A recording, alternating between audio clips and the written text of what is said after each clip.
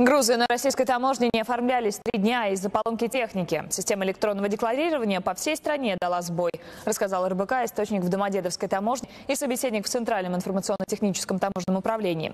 Что могло стать причиной сбоя, пока неизвестно. Так, подача документов была парализована при импорте и экспорте на таможнях в Шеметьево и Домодедово.